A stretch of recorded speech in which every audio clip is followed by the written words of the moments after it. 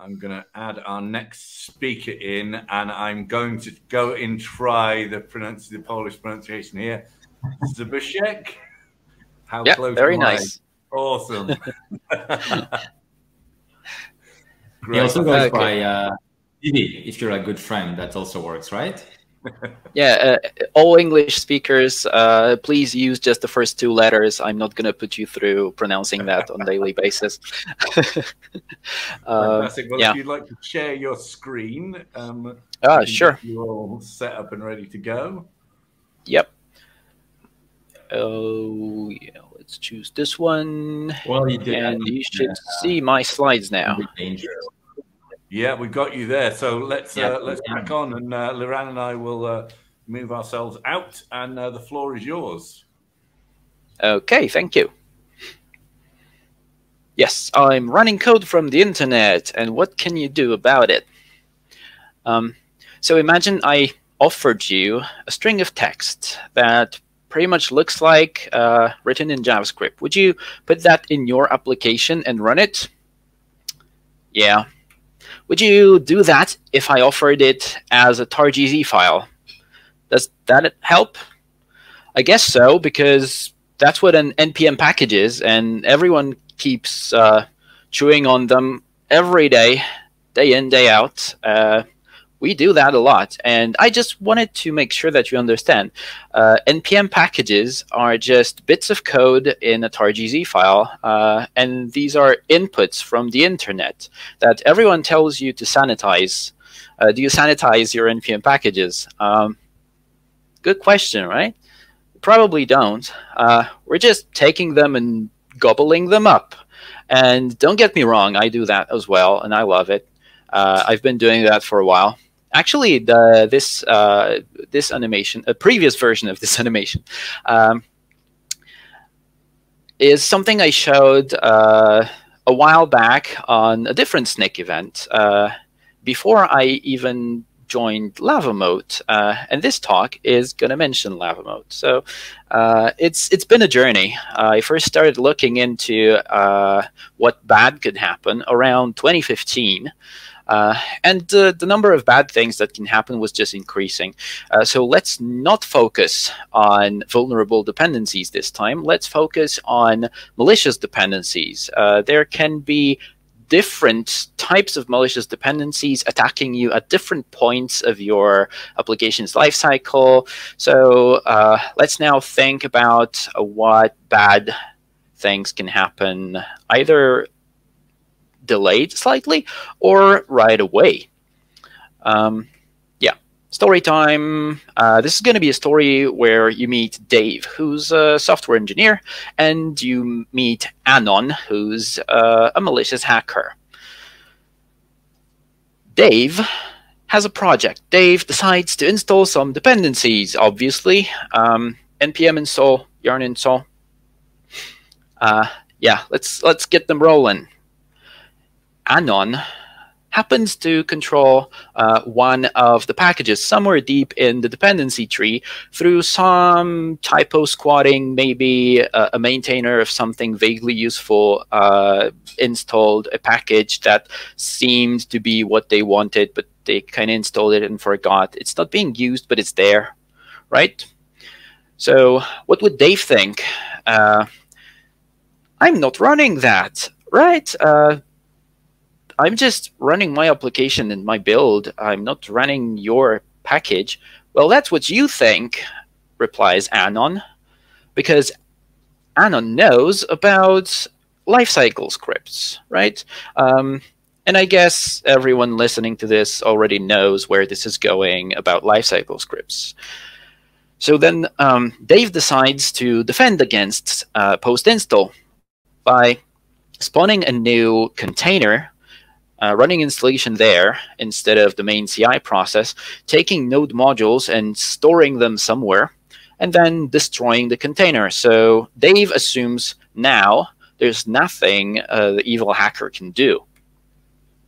Well, that's not what the evil hacker is thinking now. So the evil hacker takes uh, a post install script and runs a bit more code that finds TypeScript and delivers a payload into the TypeScript compiler's compiled sources in node modules. And now when you transfer node modules away, you're still vulnerable because this TypeScript compiler turned evil. Uh, this is what I've been showing uh, way back. So if you want a demo, there's a demo of this. Uh, check my earlier presentations. Um, now, this I hope you also know. You can ignore scripts with npm and yarn. Uh, you can ignore post install scripts and all the lifecycle. And then you end up with a dilemma. So I have a dependency that really needs the lifecycle script. What do I do then? Well, I run npm rebuild bcrypt because bcrypt needs to be built for it to work in my application, right? And that's what Anon was counting that Dave would do. Because uh, NPM CLI and the Yarn CLI and other CLIs, they trust packages to call themselves what they are actually called sometimes. So, you know, it's kind of hard to replace bcrypt on NPM, but you don't have to replace it on NPM. You can replace it in your own packages dependencies with anything that doesn't go through scrutiny, like a bundled dependency. Oopsie. Dave is surprised. Um, what could Dave do in that situation? Other than exclaiming profanity, um, well, Dave can uh, look for a tool that could help him. And that's where LavaMoat comes in. Um, so LavaMoat uh, helps you set up and drive your repository uh, in a way that the scripts uh, that Anon was using are no longer working. So when you set up uh, allow scripts, you get npmrc with ignore scripts permanently uh, enabled, and then the uh, auto generation command will give you policies that you can edit in your package JSON. So we can see that there's a bunch of stuff in there, and you can decide by setting them to true that you want this particular thing to work. And the benefit of using allow scripts is that uh, it differentiates packages. So uh, it will notice the difference between bcrypt and something deeply nested as a bundled dependency that happens to call itself bcrypt. And you will get two entries, and you can decide which of them should work. Now, that's not the end. Uh, so if you've been following news, and Anon was following news, uh, Socket Security published uh, this new trick where you can decide that the command you expose from your package, uh, instead of being called like TSC, for example, uh, which is common for TypeScript, right? You should know that um, you can decide that the command you're exposing is called npm or node. And that's going to resolve in the scripts you run uh, from your package JSON. Right? So when you do npm run lint with this evil package installed, it's going to run the evil plots.js file uh, that was named npm by the designer of the package. Well, that's not good, but if you continue reading uh, the README file on Allow Scripts, you will notice that Allow Scripts uh, is introducing an experimental feature where it can also control linking bins, uh, not just the post-install scripts. So just a matter of uh, a tiny change here and there uh, to control that as well. And if you want a demo, there's a demo of that. Uh, uh, check out the original article uh, from socket.dev. Right, so uh, what now? Well, Anon is upset because NPM said it was a feature that they couldn't break, and now people are breaking that feature and not allowing him to take over the repositories.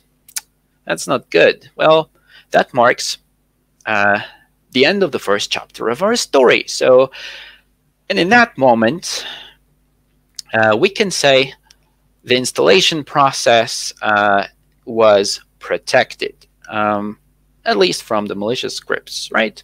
There's a bunch of other things uh, we could talk about, but we won't. Uh, let's focus on a more serious threat where Anon is going to put a bit more effort into getting into your dependencies and find something that you actually use that they can take over. So now this gets uh, more serious because you're running code.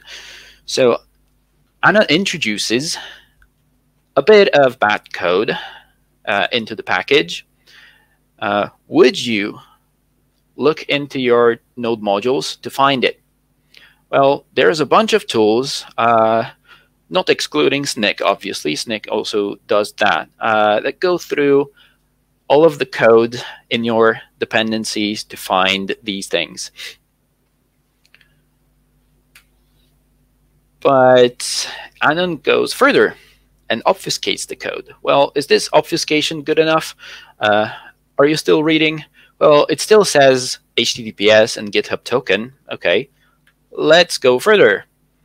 Should I keep going? I can keep going. This is the same code, but uh, with the heavy obfuscation, uh, which is now 70 kilobytes uh, of just JavaScript, and it runs.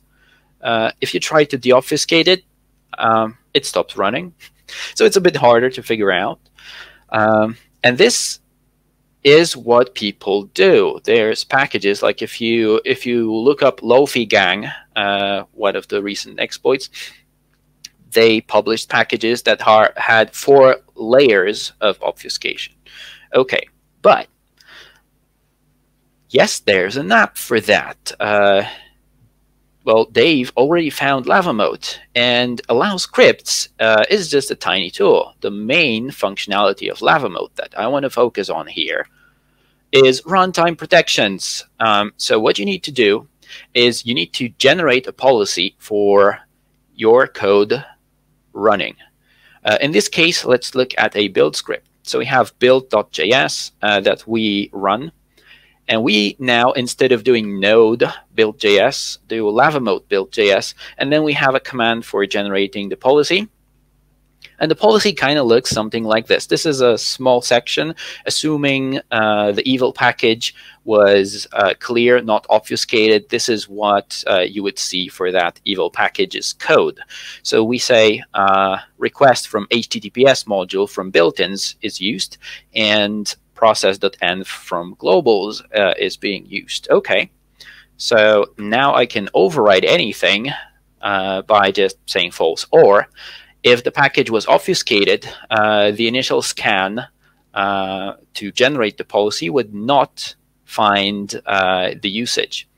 And what's great about what happens next is that we only read the code with some ASTs from LavaMoat uh, when generating the policy. But when the policy is applied, well, that happens on the level of the language itself. So now when you run build, uh, you will get an error saying evil package requested HTTPS. And that was not in the policy, so require HTTPS will throw an error. Um, if that's not the first thing happening, well, uh, you might get a different error that says type error could not read env from undefined because you know what? Process is not one of the globals available to this particular package. Meanwhile, everything else could have access to process and use it. Wait, how? How is this done? That's impossible, right? Uh, every package has different globals. Well, let's take a peek inside. Okay, story's over. Now we get into what's behind LavaMoat. Uh, and the main technology behind LavaMoat is SES, uh, short for Secure ECMAScript. Uh, this is a tool that allows putting each package in its own compartment, uh, which is a box that lets you define how things are loaded and most of all, uh, which globals uh, are going to be available. So every compartment gets a different object to be their globals if we want to. And the best thing is compartments are becoming part of the language. Uh, so there's work in TC39 to put compartments into the language with all the functionality necessary uh, for spinning them up. Um, it's still early. So yeah, you won't be able to uh, get an update uh, on your browser or Node.js tomorrow and get this feature. But uh, it's being worked on, and it will get into the language eventually. Now, SES uh, consists of three major things. So there's compartment for scope isolation. There's lockdown, which uh, makes your entire realm, or as V8 people like to call it, context secure. This means uh, no more prototype pollution attacks that you could use to escape your uh, compartment. And then harden uh, is for use with the actual program when you want uh, an object from your program that you pass into uh, a different piece of code that you don't trust uh, to not be modifiable. Okay? Wait. So JavaScript is being designed to be secure. Well, no, JavaScript is. It, it just happens to be a good design for security uh, because the language itself is standardized with ECMA's TC39. Meanwhile, all the powerful features are standardized elsewhere in W3C or uh, in Node.js working groups. If you take Conway's law that says uh, every organization is going to deliver software whose uh, shape resembles the communication structure of that organization, it means we get good separation between, between the language and the APIs. Uh, so any powerful API is only reachable through scope or by requiring it. Um, and since compartment controls all of that, we get hardened JavaScript as a result. Okay, that was a lot. Recap time. Uh, first, install time protections with allow scripts. You can install allow scripts in your repository, run the two commands to configure it, and you're protected from lifecycle scripts. Uh, additional protections against bins that we're rolling out about now. Uh, runtime protections with LavaMoat and a policy. Uh, introducing that is a bit more work because you need to refine your policy a bit. Um, but this is super powerful. And behind all of that, there's hardened JavaScript with SES also, you can use SES directly if you're building a tool or product where you want to run untrusted code and get the benefit from that without the risk. Um, and LavaMoat is protecting installation, build, and runtime of MetaMask, uh, which is being used by about 30 million people. Um, and there is a future extension system for MetaMask that uses SES directly to run someone else's functionality within uh, MetaMask, uh, which is also interesting. And that's based on guarantees that SES gives us. Um, it's already available. Uh, you can use it. You can play with it. If you want to know more about SES, uh, check out my earlier talk uh, where I get into detail how it, the current shim, uh, how it works right now, and then you can look at Mark Miller's talk, uh, Mark Miller is the inventor of SES. Uh, and there's a lot more information about the, the, the, principle of how it's working and why it's the way it is. Um, and I'm offering to help you set up LavaMoat in your project. So either scan this or go to naugtur.pl. You can find uh, means to contact me there. And I'm obviously joining Discord. Um, yeah, that's it.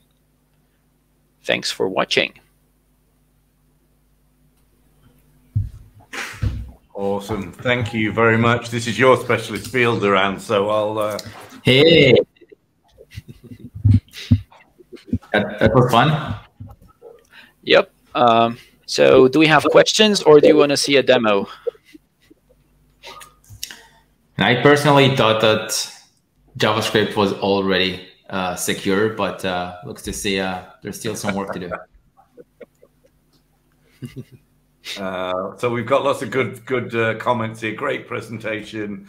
I do have a question actually. Let's uh, see if we can from uh, from the. Is it secure to host passwords within package.json? I'm not sure whether that's a serious question or not, but um, it's always secure. It's JavaScript. well, uh, you shouldn't put your passwords uh, anywhere that's accessible to anyone else. Uh, and since package.json tends to be in a repository, definitely not a good idea. Yeah, great. Okay, well, I think we, we're just about on time.